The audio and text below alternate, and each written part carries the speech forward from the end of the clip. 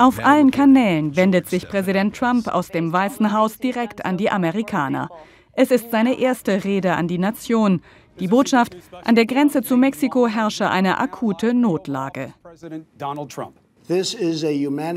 Das ist eine humanitäre Krise, eine Krise des Herzens und eine der Seele.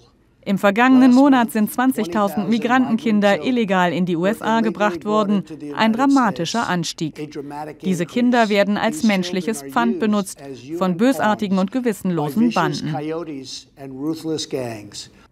Die Schuld am Shutdown gibt Trump den Demokraten und fordert 5,7 Milliarden Dollar für eine Befestigung aus Stahl statt Stein. Diese Befestigung ist absolut entscheidend für die Grenzsicherung. Sie ist das, was unsere Experten an der Grenze wollen und brauchen. Das ist gesunder Menschenverstand.